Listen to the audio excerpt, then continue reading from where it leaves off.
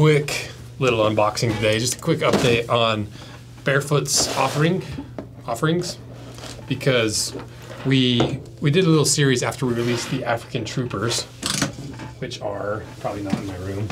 When we released the Barefoot African Troopers earlier this year, where we we made basically the first true heritage barefoot boot that you could buy at scale. There's there's some other makers that make small batches or one-off traditionally made barefoot boots, but having it at scale, made by Jim Green, combining that South African boot making techniques that's really, really simplified but really strong with the stitch down construction, adding in some extra leather to the Jim Green construction, and combining in the barefoot attributes and inspiration from the uh, one of the coolest boots in history, the jump boot. That's what this ended up being. But you know, the goal with these collaborations is to make some cool products, try some new stuff, make some stuff that I really want, try to solve some problems in the industry, and make some stuff that doesn't exist. Because that's what I love doing. I love product design. I love reviewing products because I love product design. I love marketing. I love branding. I love all that that centers around it.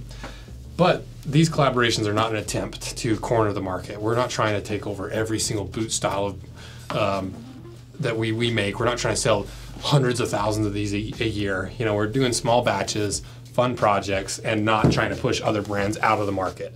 You know, we want to continue to lift these other brands that are making similar products to some of these collaborations and not try to shun them because we, you know, you've seen it plenty of other industries and channels and stuff where they're like, oh, we've got a product that, oh, we can't talk about anyone else.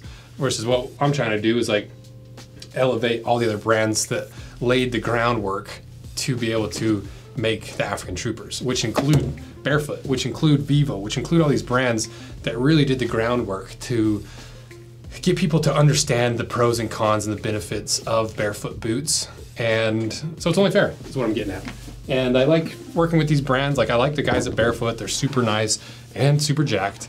And it's you know it's just fun to do. I like working with a lot of brands. I like reviewing stuff, so it, it just all aligns with what I want to do. Because on Anvil 2, it's a lot more free form. It's a lot more uh, experimental. We'll try long form, short form, this kind of content, unboxings, and and so it's a good it's a good uh, channel to just be able to highlight some stuff that wouldn't necessarily make it on the main channel, like this new boot from Bearfoot because We've reviewed this boot by Bearfoot a couple times. Um, the first time was a standalone cut in half, reviewed it fairly traditional. You had some leather components in there, a mostly leather upper and a few of these other things.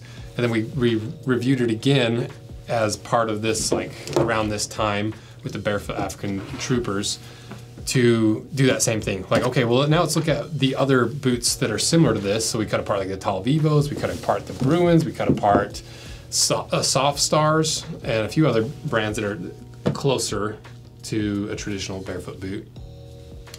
But Bearfoot came out with this one like right after we posted that video. And I haven't seen it and I don't know anything about it. And so I thought we'd just do a quick unboxing and show it to you and see what's what. Because I think they've even come out with another more traditional one since this. And if I remember right, it's kind of shorter like the African Rangers, because this this boot is what opened up the possibility to do the African Troopers. African Rangers, African Troopers, I say them wrong all the time. This is just like a shorter, more like like low top sneaker or high high top sneaker or low top boot. Um, so yeah, if you happen to want any of these or the Bruins or the Urs Ursidae, this this new barefoot boot, we'll put links to all of them below. Um, I don't even. I think. I think there's still some African Rangers available. I think African Troopers are closed, but if you want a pair of African Troopers, just get on the limited edition email list. I'll also put in the description so that you can be on that email list. It gets early access, gets all the sizing information before the launch, has all the preliminary content and how to wear, the specs, stuff like that. If you're on that email list, you'll get you'll you can get a pair essentially, and you'll know everything you need to know. And I think the next drop's going to be in like November or December. But I think these are still available. So check them out. And now, let's get to the unboxing. What knife? Got two choices, my two favorite knives, both Kershaw's. We got the Kershaw, whatever it's called, super fast and scary. And then you've got the Kershaw Livewire, which is the actually kind of scary. And it's so scary that I cut a big old chunk out of my finger one day when I was playing with this in a hurry. And so let's do that. let's do this one, the live wire. If you want one of these as well, check these out in the description. Um, Blade HQ give, gave us this, and um, it's just cool to work with the knife company because we cut so much stuff in half. Being able to work with these guys is fun. So check them out. Let's unbox it. So, what are they? So, what is this? Okay, so this is the Ursidae. I'm assuming how that's how it's said. I think it's Latin. I think. The Ursidae is a lightweight barefoot boot that combines durability and style. It is perfect for urban or outdoor adventures and promotes natural foot movement. Retails for $199. Another description says the Ursidae is a lightweight barefoot boot designed for performance in any setting. It is made for adventurers and everyday users who need durability and style in both urban and rugged terrains. Whether you're hiking or navigating city streets, the Ursidae offers versatile functionality, promotes natural foot movement, supports stronger, healthier feet over time. And wide toe box, zero drop, flexible frame. Let's get that. Let's get this uh, packing material out of there and see how flexible it is. Yeah, super flexible. Uh, U.S. sourced leather. This looks like a suede, you know, and their other little shoe they use true suede, so it's a little more stretchy. It's gonna not it doesn't have that grain pattern in there, which I, I don't think is the worst thing for a like a gym shoe because kind of like what we talked about in the skate series is like some people want the leather to stretch and form around their foot, and uh, so that might be why Bearfoot does that. Because if I'm looking at the cross section, I don't see any grain, grain, and so I think it's I think it's a suede, but it is backed all the way through the lining with a leather lining. So at least it's got that going. Uh, resolable, durable leather insole. Should we pull it out and see? I wish they would make their insoles removable. Cause I'm just gonna pull it out, but it's already it's already kind of like I'm pulling the foam apart. I think underneath.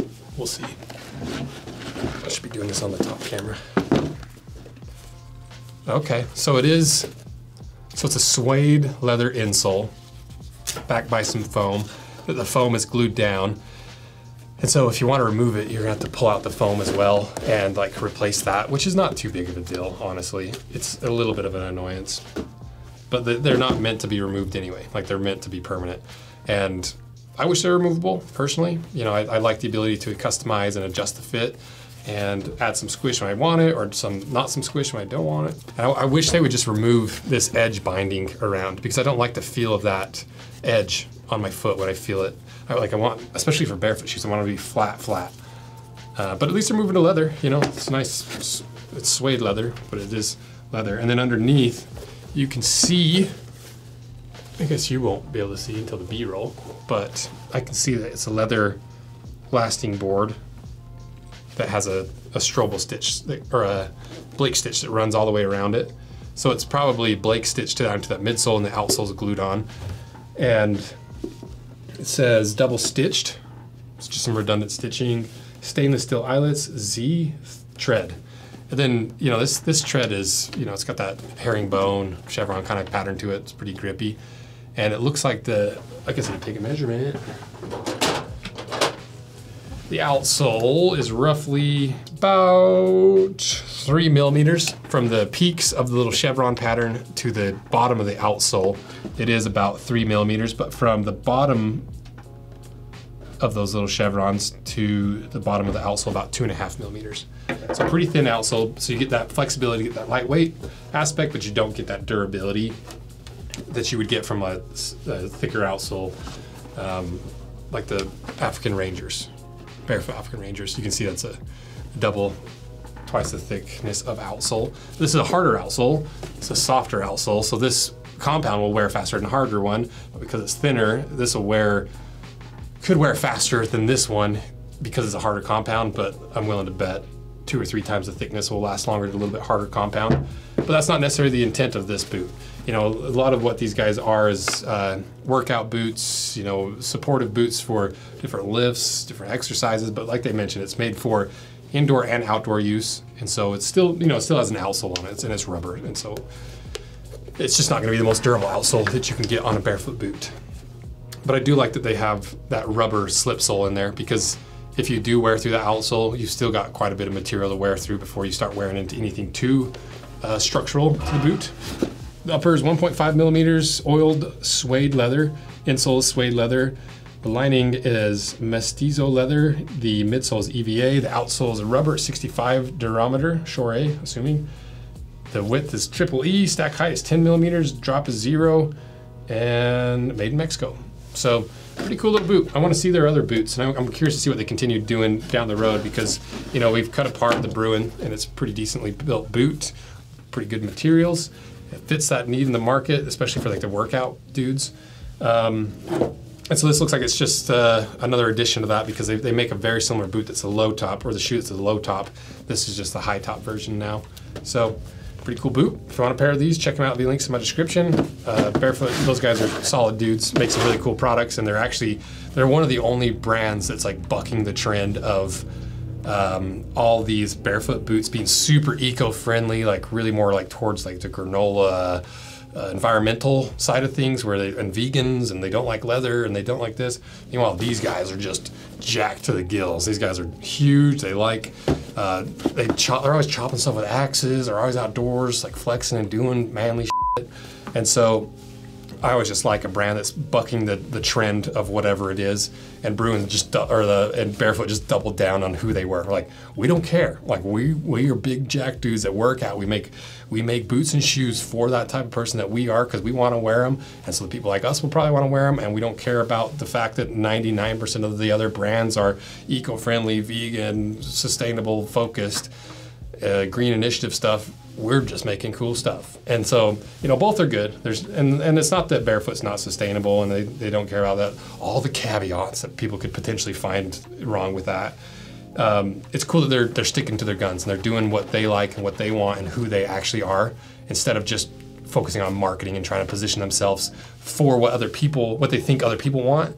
They're just making what they want and I can't help but love it. And so check out Bearfoot, good stuff. And uh, I think that's it. So thank you guys. See ya.